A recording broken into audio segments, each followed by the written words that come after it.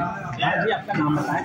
Sir मेरा नाम घनश्याम ऋषि शर्मा मालदा रहता हूँ ग्राम पंचायत मालदा अच्छा काय के लिए आए हैं सर मैं पिछले मंगलवार भी आया था आवेदन देने और आज भी आया हूँ मेरे को सुनवाई नहीं मुझे ग्राम पंचायत मालदा के सरपंच से तेरह हज़ार दो सौ साठ रुपये का बिल लेना है जिसका मैंने स्ट्रीट लाइट की रिपेयरिंग करी थी। अच्छा। तो उसका बिल सरपंच नहीं दे रहा।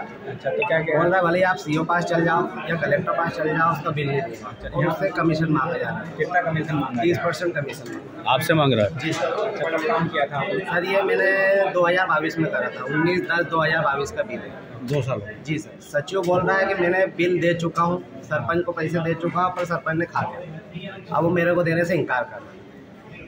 मेंबर भी लोग इकट्ठे हो चुके हैं सचिव भी इकट्ठे हो चुके सबके सामने उन्होंने बोल दिया कि, कि मैं बिल नहीं दूँगा जिस जिस तुमसे बने जो कर लो। कितना पेमेंट है तुम्हारा? सर तेरह हज़ार दो सौ साठ रुपये का। सर ये जनसुनवाई में मैं दूसरी बार आया हूँ सर।